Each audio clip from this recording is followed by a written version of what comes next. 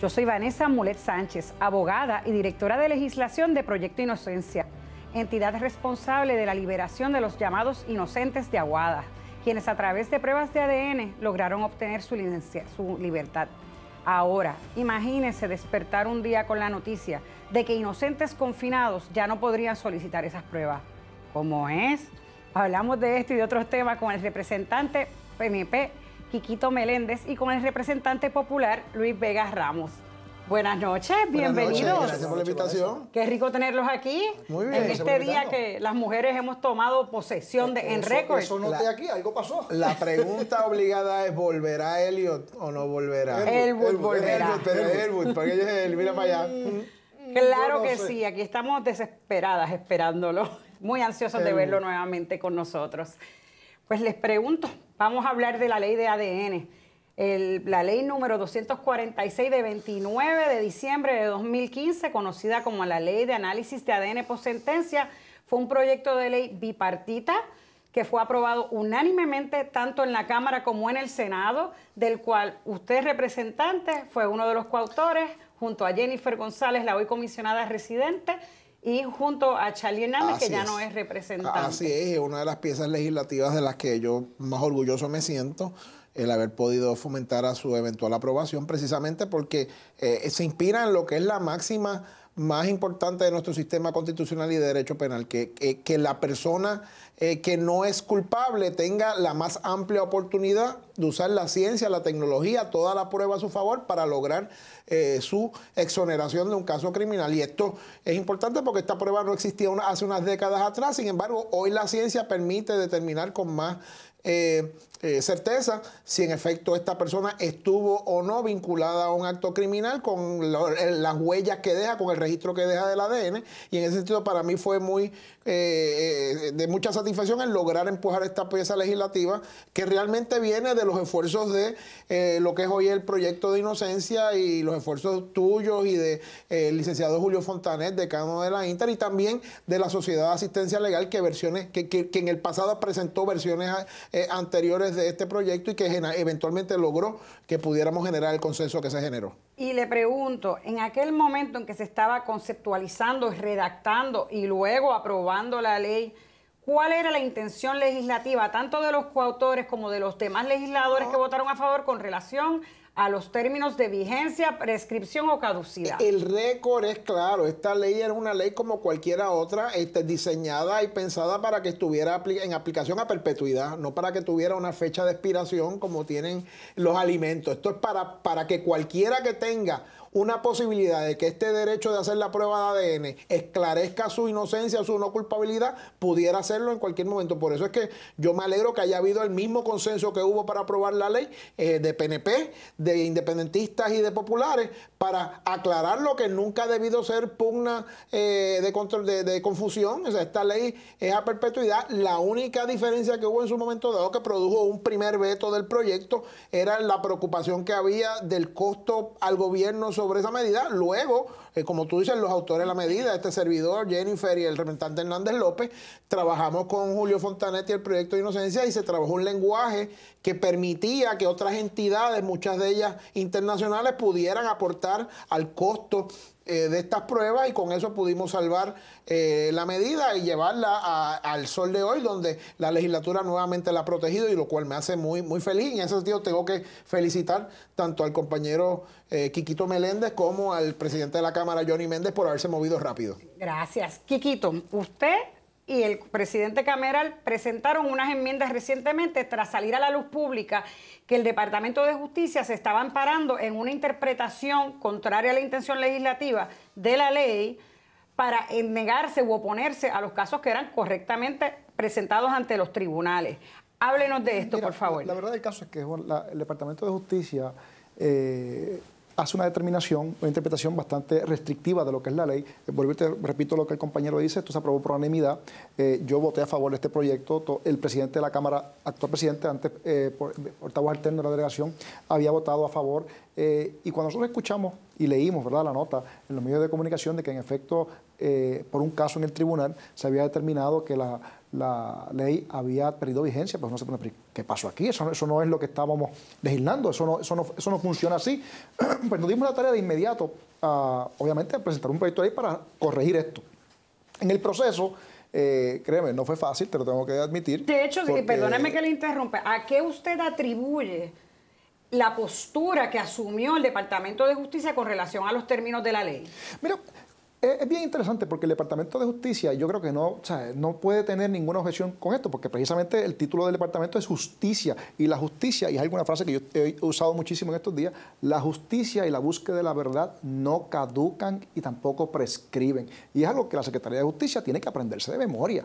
Punto. Yo lo lamento tener que decirlo de esta forma, pero el hecho de que estemos tratando de tener esta conversación ahora es, es el resultado de una actitud intransigente de algunos funcionarios que por alguna razón tiendo a pensar que tiene que ver más con el asunto este de que pues, o no quieren mucho trabajo o todavía están buscando eh, sacarse de encima. Eh, aquí, aquí hay elementos, y esta parte es interesante, hay elementos del Departamento de Justicia que piensan que un caso que se logre salir, que logre probar su, eh, su inocencia y que logre salir de, de prisión ayudado por esta legislación, va en contra del prestigio del Departamento de Justicia. Y yo digo, ¿qué cabeza cabe ese análisis? Yo prefiero, y lo hemos dicho antes, y yo estoy seguro que todo el mundo, y el compañero aquí, y yo creo que hasta el propio gobernador, prefieren, preferimos 10 culpables afuera que uno inocente adentro. No es posible. Y suena fuerte, pero la realidad del caso es que tenemos que garantizarle a los ciudadanos a pesar de que estén bajo custodia y que hayan sido declarados culpables. Fíjate que esta no es la primera vez, y no solamente por, asuntos de DNA, tú sales a la, te puedes tener la oportunidad de salir. Fíjate que hay un caso, eh, el muchacho este que estuvo allá, que tú te recordarás, este Luis, el que salió culpable y, eh, aquí en, por el asesinato del, comerciante canadiense, ¿verdad? Eso es por otro asunto, ¿verdad? Salió también eh, de prisión, pero un jurado le encontró culpable. Jonathan. Jonathan, correcto. Así que el hecho de que una prueba científica, ¿verdad?, eh, disponga que tú no estás conectado con el crimen, no necesariamente garantiza que vayas a salir.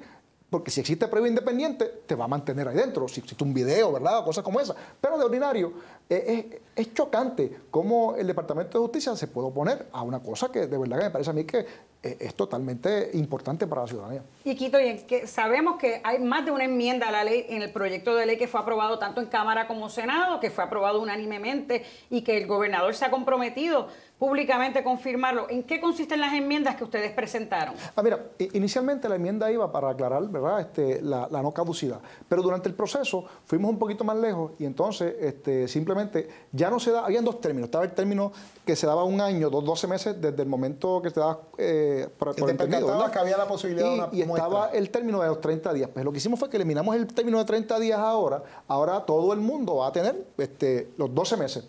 Y más importante aún, este, me parece eh, que la gente lo, entienda, antes la legislación no proveía un mecanismo para casos donde la, evidencia que fueran a evaluar, ¿verdad? Para determinar si tiene material genético, estaba fuera del Instituto de Ciencias Forenses. Por ejemplo, si hay una evidencia o una pieza de evidencia que está, que la persona pueda pensar que esa puede ser, puede tener algún tipo de material genético que pueda ser para su beneficio, pues mira, y está fuera del, del instituto, pues lo que hay que hacer es buscar la forma de que el juez lo traslade. Pues se creó el mecanismo de que mediante la petición se le ordene al juez, eh, pues obviamente el juez ordene, debo decir, el traslado, de esa, ese material genético a este el, negociado Instituto de Ciencia Forense, ¿verdad? Que eso es lo ahora le cambiamos el nombre un poquito, eh, para que entonces se determine si en, ese, si en esa pieza de evidencia hay eh, algún tipo de material genético. hay un, ha habido un supuesto que ha mencionado el Departamento de Justicia a los efectos de que la ley de ADN promueve eh, la excarcelación indiscriminada de eh, reos. bueno, eso no es verdad. La, evidencia más clara es precisamente el récord del proyecto Inocencia y aún los esfuerzos de la Sociedad de Asistencia Legal.